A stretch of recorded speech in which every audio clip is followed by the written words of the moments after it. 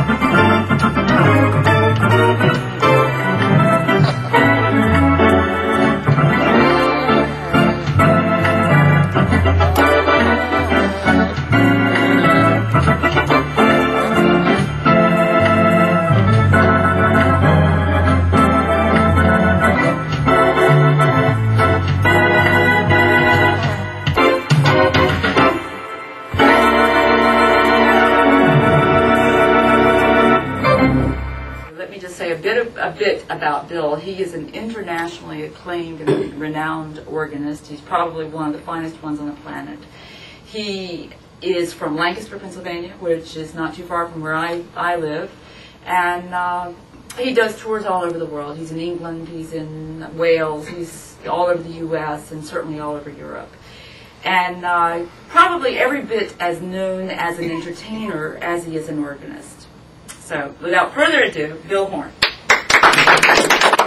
Thank you. We'd uh, like to show you, instead of doing a big pitch on this instrument, I believe in just let the instrument do its own talking. And you can decide whether you like the sounds or don't like the sounds, etc. But this is the new Hammond Elegante. They took two words from, from the past, Elegante and Aurora Classic. There is a Spinet model of this.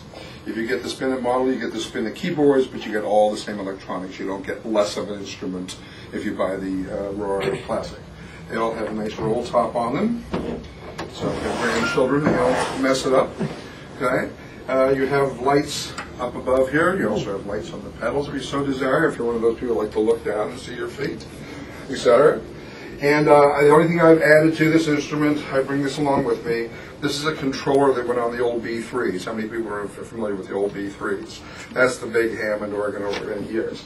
And we always had a Leslie switch that we use with our hands. So what I'm going to do is you'll see me working this back and forth, and that's for the drawbar or flutes or tibia sounds uh, strictly uh, to turn on the tremolo. We call it the Leslie. And the Leslie speakers, matter of fact, back there. I will do some of the concert, most of it right through this instrument, and then when I go to the drawbars later on, I'll go through the Leslie so you can hear that. This little part here is called a modulation wheel. If I have a guitar and I want to bend the guitar or a trombone and bend the guitar or the trombone, anything I want to make an effect or bend anything, that's what this is for. So if you see me doing things with this, that's exactly what it was. And most of the instruments today, if you are somebody who has the new electronics, they all have discs on them so that you can buy Hal Leonard's You Are the Star series and you get beautiful arrangements and you can play along with them or just listen to them. Hopefully you just won't turn them on and listen to them and go do your wash or have lunch. but there are some people who do it. Something like the Disklaviers by, you know, uh, another, another company with a Y. Anyway, I am going to start off with a little uh, uh, sequence of uh, how many people remember the song Tea for Two? Remember Tea for Two? I don't do it, but I just thought I'd ask. We're going to start with Tea for Two, and today you got to have do's and do bops and do whats. And So I thought I'd like to start off with some of our sounds here, do's and do bops, with T for Two. And uh, since I'm a firm believer that if you're going to buy an instrument with pedals, you should play them. So you watch my feet. At no time do they leave my ankles. If you if you are a one finger player and that you have the ca- uh, capabilities on your instrument of doing just one finger play and you want to explore it, we also have that as well. So I may you may see me to take my feet off once in a while, and what I'm doing then is letting the instrument do its thing. So let's start off with Tea for two. I hope you enjoy it. If you don't, I showed up in San Diego and I'm here, so what the heck.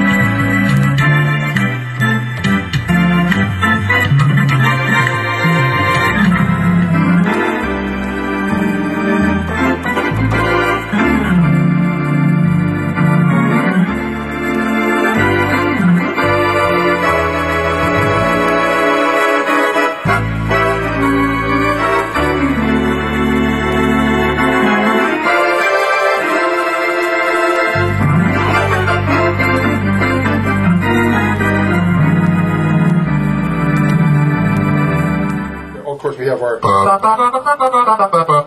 doo-bops and doos-doos down here. Doo-doos.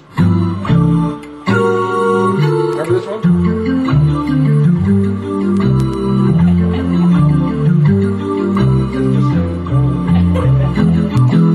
Or if you just want to, you can do the bops too. And you also have some the sopranos of doo-doos and the uh, altos and the tenors. And, geez, let me find out if I can put a Hawaiian guitar in here. And so I got a Hawaiian sound. Here's my little teaching tidbit. On all the instruments that have the glide, whether whether you use your hand or you have it on your foot switch, and sometimes it can be your foot switch on the right or left can be told to do the glide. When you do an arpeggio on a Hawaiian guitar, if you have sustain, piano sustain, arpeggio going up, and when you get to the top of the arpeggio is when you bend it. So held notes. That's where it bends. Or I can use this. And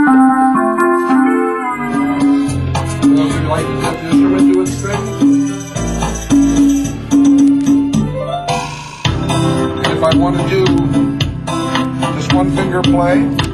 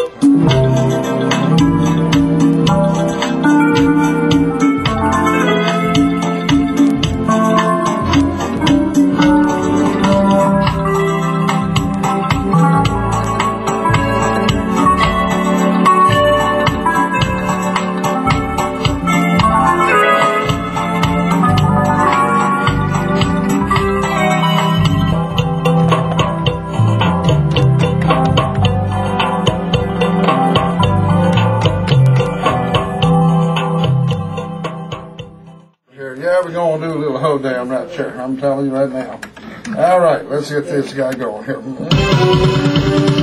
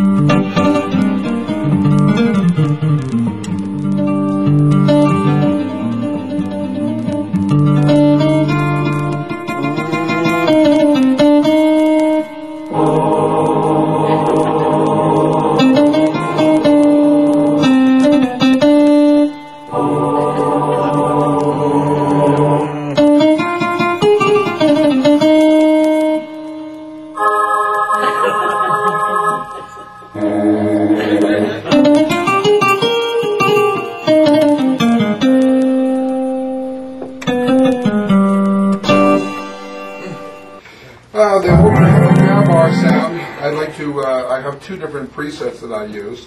And just as a passing thing here, a lot of the instruments on the market today have to get registration discs for, for different sounds. This instrument has a hundred built right into it with the push of one button. You can call up a category, theater organ, pop organ, classical organ, whatever you want. And with the tou- touch of one button, you can get this instrument to play 10 different total presets, maybe so 10 times times 100. And I think it works out really nice for those people who uh, like to have versatility. You don't have to use a bunch of registration discs, you have 100 built into it. So I like to do a little song that is typical of the Hammond organ sound. Uh, years ago, there was a record called Shangri-La. Remember the song called Shangri-La? And I would like to do is uh, Shangri-La for you.